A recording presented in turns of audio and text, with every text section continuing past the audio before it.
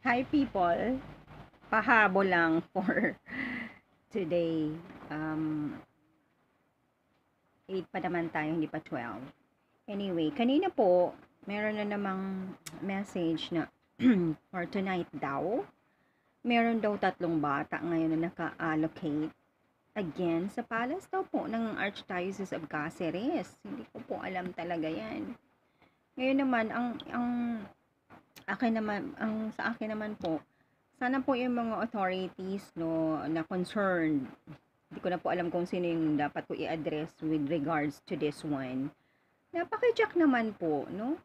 Kaya wala kaming authority dyan na gumawa ng investigasyon o kaya, you know, actual check-up sa lugar na yan.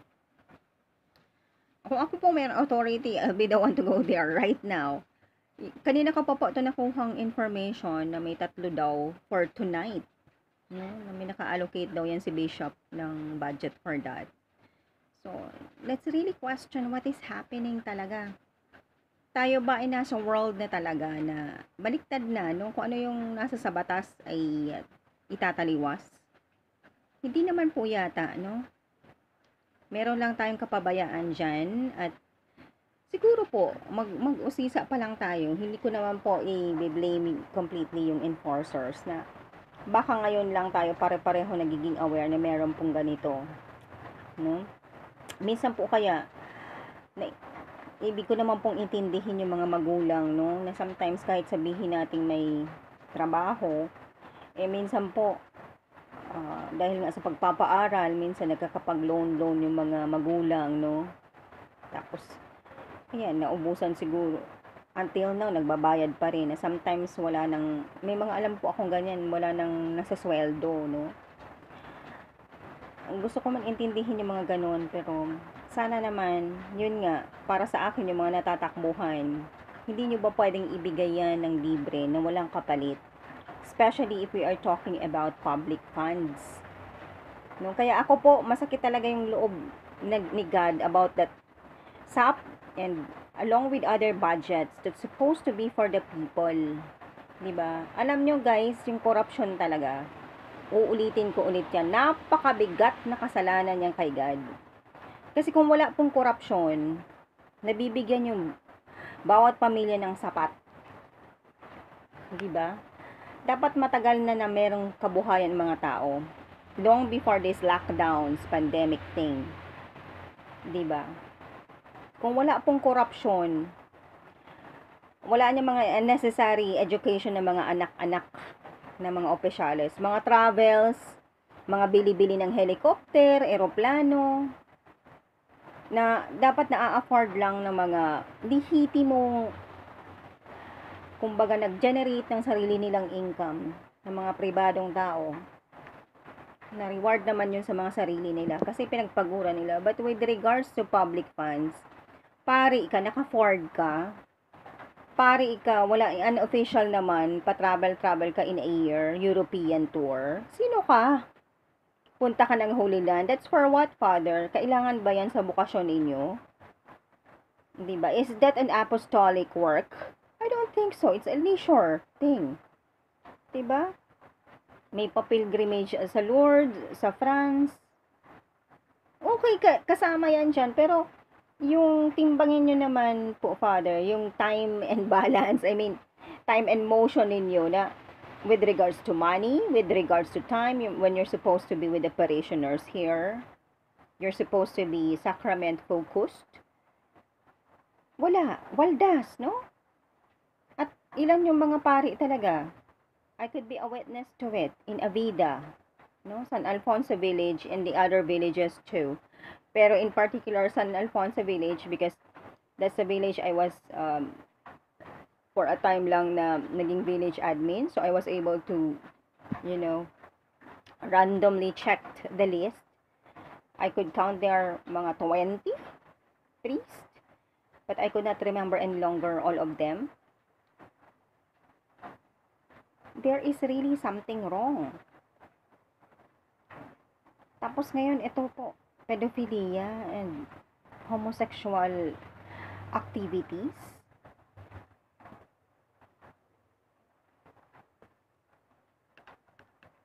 So, sana po maliwanagan po yung mga pari na illegal po yan.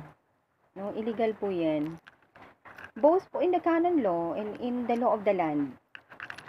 No, sana po may makarescue dyan dun sa tatlong bata ngayon daw gabi na nakatoka ngayon. So parang naging na lang acceptable yan ha. Kayo mga magulang, paano yan masasangkot po kayo dyan. At pinananawagan ko po yung gobyerno natin. Ano po ba yung pinagkakagastusan natin? Bakit meron ng mga families in our society that are left as if left without any um, other means you know, to make ends meet. Nakakahiya tayo. That's why in other countries talaga, they could really afford public execution on corrupt offic- officials. Kasi sanga-sanga nga yan ng kasalanan, sanga-sanga ng krimen, na nagiging bunga ng corruption lang ng isa, dalawa, o tatlong opisyales. No? Kasi imagine mo, example ko na lang talaga yan ng VP office na yan. Bakit kailangan napakalaki yung yung budget niyan, no? VP office lang, ani mo may maliit na palasyo. Para sa akin, ang VP office, Diyos ko, minimum ng sampung. Malaki na para sa akin yung sampung staff niyan. Ano na ang pagagawin yan? To assist the president, di ba? One, two, three secretaries would do. Kaya may mali po sa mga struktura natin. Wala tayong masusing pag-aaral sa finance, no? The cash flow, the present value, etc., etc. ng lahat-lahat. Kaya maraming taong pobreng-pobre, meron namang extreme nga yung society natin in the Philippines. At saka, yun nga, talamak talaga yung corruption natin. Akuin natin yan. Even though with those four piece na yan, they could even afford to cover a lot more of people up to the middle class. Up to the middle class. Nakakahiya tayo po. Wala pong prosesusyon na ganyan kung mainam po yung paggamit natin ng pondo sa Republika ng Pilipinas. Hindi ko po yan i-blame lahat-lahat kay President Duterte, no? It's his first term. Pero sana naman po marinig tayo na kahit naman po kasi ang gusto ni President Duterte, makonsol yung tao through the SAP, di ba? Pero kinurakot pa rin yung SAP with the same people who have been in the position for several years already na before pa sa term ni President Duterte. I want to qualify that one, okay? Hindi naman natin biniblame dito si President Duterte. But as a finance person, as an auditor accountant, yun po ang nakikita ko, no? Kung ma- maayos po talaga yung paggagastos, no? Unahin yung mga basic needs ng mga tao. Overflowing po, more than enough ano, makakabigay pa po ng kabuhayan sa bawat isa. Mayaman po ang Pilipinas, yun ang sasabihin ko sa inyo. Talamak lamang tayo din at mayaman din lang tayo sa mga kurakot, sakim, ganid, at malalaswang tao, both in the government and in the church. Dun po ang problema, yun ang root cause ng cancer ng society natin. At pati tuloy kami, no, na mga stable naman, mga simple, hindi naman kami yung mga magagarbo, mga ambisyoso. Kampante naman sana kami sa mga resources namin, kami malulupa, at may mga sari-sariling kumpanya. Eh pati po kami ay nadadistabila, ano? Because of the so much corruption in the church and in the government, kami na ngayon nag, nag-donate sa church. Wala. Damay-damay po sa destabilization and imbalance sana nakikita nyo po yung uh, tinatry kong maging organisadong analysis, no? Na makita ng iba na kahit mga bata lang yan, maintindihan what is going on. Pinuntirya pa kami mga malulupa na mga stable naman na hindi kami naghihingi sa gobyerno ng so many years. Diba? Gusto na nga kaming palitan na hindi naman tama. Ayan po. So, ulitin ko po, may nagre-report po sa akin na may tatlong bata dyan nakatoka for tonight. Hindi ko po alam kung every night may may naka-schedule diyan and man naka-allocate na budget, no? Relyebo kumbaga sa mga prostitutes. Tapos ang naririnig ko po, hindi lang po mga bata, pati po mga teenagers, mga tatanda, babae at lalaki po. So you could imagine, instead of that one being a powerhouse of prayer and therefore a powerhouse and source of great mercy and love of God, kayo na po magsabi kung ano na yan ngayon, kung ganyan yung nangyayaring, kung totoo nga po yung mga yan. Napakalungkot po. Napakalungkot, no?